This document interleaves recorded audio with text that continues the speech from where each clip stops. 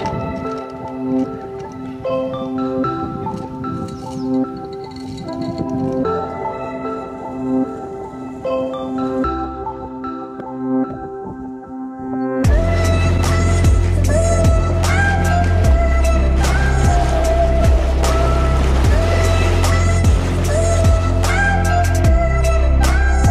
Mingė village is a small fisherman's village in Lithuania.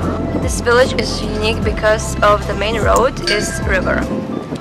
Also, houses are situated on both sides of the river and there is no bridge. Mingė village can be called Venice of the Lithuania.